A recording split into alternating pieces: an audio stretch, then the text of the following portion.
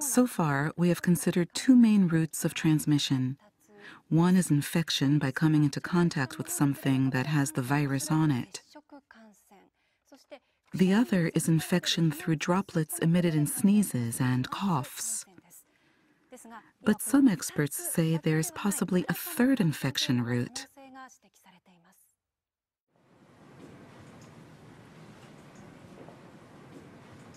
Experts are now looking at this new infection mechanism as the key to preventing the further spread of the virus.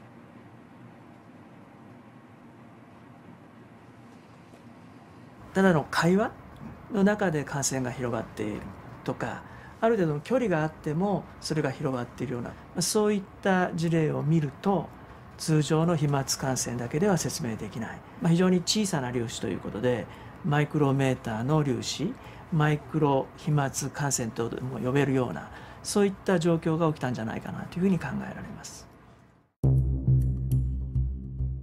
So how does this take place? NHK is conducting an experiment with a group of researchers. はい、レーザーください。The team will track particles in the air using laser beams and a high sensitivity camera. This technology allows us to detect droplets as small as 0.1 micrometers wide. The experiment starts. First, sneezing.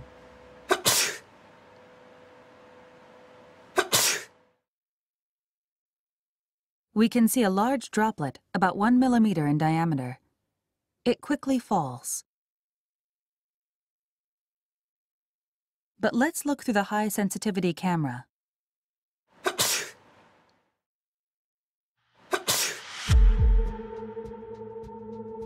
We can see small particles that seem to glitter floating through the air. These particles are all smaller than 10 micrometers, or 1 100th of a millimeter in diameter. Let's take a look from a different angle. They're small and light. You can see them drifting through the air. These are microdroplets.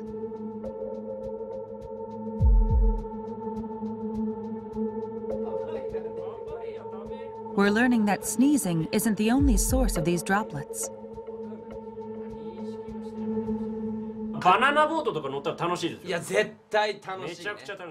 We ran the same experiment on a close-range conversation. People generate a lot of microdroplets when they talk loudly.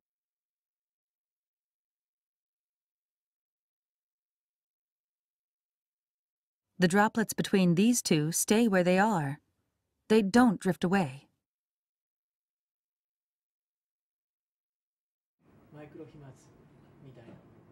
It's not yet known what volume of microdroplets leads to infection. But Tateda says we can't rule out the possibility that microdroplets have spread the virus to some extent. そのマイクロ飛沫小さな粒子の中にもたくさんのですね生きたウイルスがいて大きな声での会話あるいは激しい息遣いそういった中でですねこのマイクロ飛沫ができてそれが近くの人その人が吸い込むことによって感染が広がるそういったリスクが見えてきたものと思います。The risk of infection through microdroplets becomes even greater in a closed space with poor ventilation.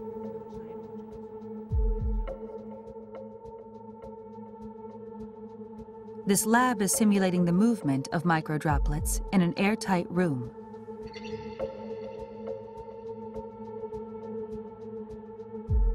About 10 people in an enclosed space the size of a classroom. A person coughs once and spreads about 100,000 droplets.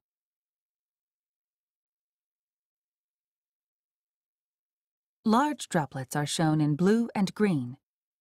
Most of these fall to the ground within one minute. But the microdroplets, shown in red, continue to drift.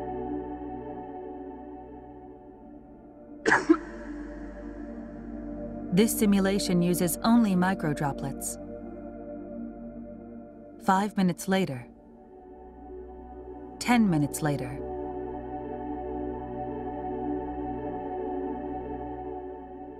Twenty minutes later, the microdroplets are still floating in place. 空気がよどんでいると、えーつまり空気の流れがないということで、えー マイクロ飛沫そのものは、まあ、落ちたり、まあ、違う場所に動くことはできませんので長時間その場所にとどまるっていうことになります。But there is a way to prevent this stagnation of microdroplets. Opening windows and increasing air circulation is believed to be effective.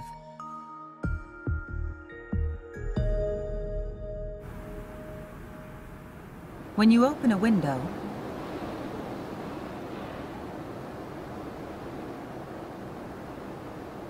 microdroplets are quickly swept away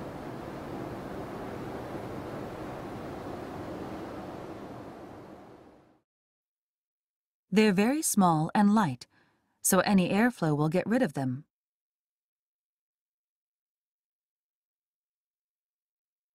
できればですね2箇所開けて風の流れを作ってあげるということが大事まあそれがまあ1時間に1回でもいいからそういうようなことをやることによって感染のリスクっていうのはかなり下げることができるようになるんじゃないかなというふうに思います。